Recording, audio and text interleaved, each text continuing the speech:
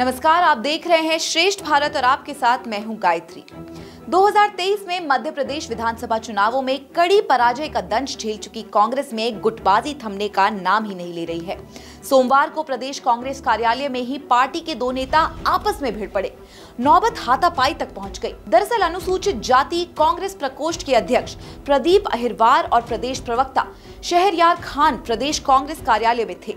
बताया जाता है कि अहिरवार ने विधानसभा में मिली हार के लिए दिग्विजय सिंह को जिम्मेदार ठहरा दिया। शहरयार खान, जो कि दिग्विजय गुट से आते हैं, भला वो ये कैसे सुन पाते? उन्होंने अहिरवार को बाहरी बोल दिया। अहिरवार को कमलनाथ समर्थक माना जाता है। दोनों के बीच तू तू मैं में इस्तेमाल हुए शब्द आपको सुना भी नहीं सकते। दोनों के बीच हुई झड़प कैमरे में रिकॉर्ड भी हो गई।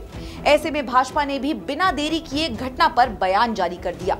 नहीं, देखिए, गुटबाजी तो जिस दिन से जीतू पटवारी जी बने हैं, उस दिन से ही स्पष्ट तौर पर नज़र आ रही है, क्योंकि उन्होंने चुन चुन के कमलनाथ और दिग्विजय कांग्रेस को निशाना बनाना शुरू किया है। वैसे जिस पार्टी का नेता स्वयं पार्टी को तेल लेने गई से संबोधित करे तो उस पार्टी में इस तरह के वाक्य होना एक आम बात दरअसल सालों से मध्य प्रदेश में कांग्रेस गुटों में बटी हुई है। संगठन से लेकर टिकट वितरण तक इसका प्रभाव देखा जा सकता है। और अब जीतू पटवारी को प्रदेश अध्यक्ष बनाए जाने के बाद कांग्रेस में एक और गुट तैयार हो गया है। इंदौर में कांग्रेस का सुपड़ा साफ़ हो गया और अब आलम यह है कि कोई भी बड़ा नेता कांग्रेस की टिकट पर इंदौर से चुनाव लड़ने से बचना चाह रहा है। इस्तीफों की झड़ी लगी हुई है। सोमवार को प्रदेश कांग्रेस उपाध्यक्ष सतपाल पलिया ने भी इस्तीफा दे दिया। इस पूरे मुद्दे पर हमारे संवाददाता अभिनव उपाध्याय ने कांग्रेस के प्रवेश प्रवक्ता राजकुमार उपाध्याय से बातचीत की। मध्य प्रदेश में कांग्रेस की जो दुर्दशा है, वो अब किसी से छुपी नहीं है। प्रदेश कांग्रेस कार्यालय पर हमला हो रहा है, प्रवक्ता पर। दो बड़े नेता आपस में लड़ रहे हैं और इसके पीछे वजह बताई जा रही है कांग्रेस के भीतर की गुटबाजी। इसको और बेहतरी से समझने के लिए राजकुमार उपाध्याय जी हमारे साथ मौजूद हैं। प्रदेश प्रवक्ता हैं। राजकुमार भाई, सबसे पहले तो मैं कहूँ कि ये प्रवक्ता पर हमला हुआ है कल कांग्रेस ऑफ़िस के अंदर। आप भी सावधानी से रहना मतलब आगे क्या हो जाए। देखिए, कल जो घटना हमको पता चली है, उसमें वो व्यक्तिगत मामला हो गया है कुछ उनका, कि दोनों ने आपस में कुछ बात करी थी और उसको लेके मध्य प्रदेश कांग्रेस कमेटी द्वारा नोटिस भी जारी हो चुका उनको कारण बताओ। और अगर उनमें जिसकी भी गलती होगी निश्चित रूप से पार्टी उस पर एक्शन लेगी और कार्रवाई करेगी। उपाध्याय जी ये जानना चाहूँगा मैं ये जो गुटबाजी के आरोप हैं आप पर आपकी पार्टी पर लग रहे हैं क्या निराधार हैं? ईमानदारी से बताइएगा क्योंकि हम भी जानते हैं दिग्विजय ग्रुप अलग है कमलनाथ ग्रुप अलग है अब जीतू पटवारी का भी ग्रुप हो गया है इससे कब तक बचेंगे आप? देखिए जीतू पटवारी जी का कोई ग्रुप नहीं है। जो राहुल गांधी जी और कांग्रेस के साथ जो लोग हैं, वही जीतू पटवारी जी के साथ है, प्रदेश कांग्रेस के साथ है। अभी जीतू पटवारी जी व्यक्तिगत कोई गुट के हिसाब से नहीं है।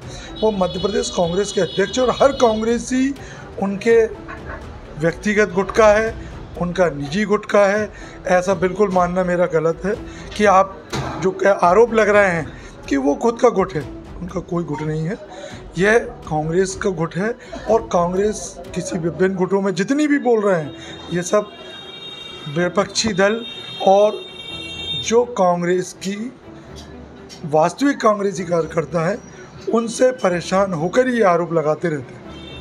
चलिए, आपकी इस बात को मैं मान भी लेता हूँ, विपक्ष की बात को हम दरकिनार भी कर दें। तो आपके पार्टी के नेताओं की बात को तो दरकिनार नहीं किया जा सकता। विधानसभा चुनाव की टिकट बंटने के टाइम पर कुर्ते फटने का बयान हुआ था। कमलनाथ जी ने बोल दिया था, कुर्ता फाड़ना है तो दिग्विजय सिंह जी का फाड़िए।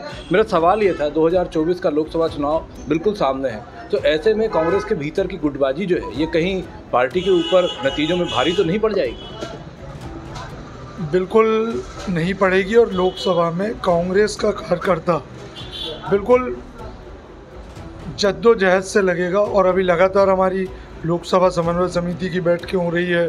प्रदेश कांग्रेस में भी, कार्यालय में लगातार हर संगठनों की बैठक हो रही है और अभी तीन तारीख से लगातार हमारी बैठकों का फिर क्रम चालू होगा, जो दस तारीख तक चलेगा। तो लोकसभा स्तर की तैयारियों को लेकर मध्य प्रदेश कांग्रेस कमेटी के अध्यक्ष और सभी वरिष्ठ नेता सामूहिक रूप से कांग्रेस के लोकसभा चुनावों के लिए कमर कस के तैयार हैं और राहुल गांधी जी, खड़गे जी, सोनिया जी, प्रियंका जी के नेतृत्व में कांग्रेस सरकार के लिए तत्पर रहेंगे और जो भी प्रत्याशी कांग्रेस लोकसभा के लिए हम लोगों के सामने लाएँगी, हम सब लोग उसके साथ खड़े होंगे। बहुत बहुत शुक्रिया। सुना आपने राजकुमार उपाध्याय जी को, जो कि मध्य प्रदेश कांग्रेस कमेटी के प्रवक्ता हैं। आरोपों पर इन्होंने पल्ला झाड़ लिया है। ज़ाहिर सी बात है, झाड़ना तो पड़ेगा ही। लेकिन कहीं ना कहीं इनका ये भी दावा है कि लोकसभा चुनाव के मद्देनज़र इनकी जो टीम है कोर टीम है, वो लगातार जुटी हुई है और सबसे पहले प्रत्याशियों का ऐलान किया जाएगा कांग्रेस की तरफ़ से, ऐसा भी दावा कांग्रेस ने किया है। अब देखने वाली बात होगी कि लोकसभा चुनाव के पहले कांग्रेस अपने आप को कितना मज़बूत कर पाती है और इन विवादों से कितना बच पाती है। अभिनव उपाध्याय, श्रेष्ठ भारत, भोपाल। कांग्रेस नेता तो पार्टी का बचाव करेंगे ही। लेकिन कांग्रेस की गुटबाजी अब किसी से छुपी नहीं है। एक तरफ़ जहाँ राहुल गांधी पार्टी को एकजुट करने के लिए पैदल यात्रा पर हैं, तो वहीं दूसरी ओर कांग्रेस के नेता कार्यकर्ता गुटबाजी का शिकार हो रहे हैं।